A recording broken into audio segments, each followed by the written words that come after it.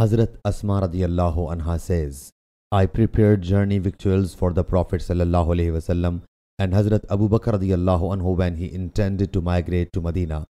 I said to my father, I find nothing to tie the mouth of the leather bag except my drawstring.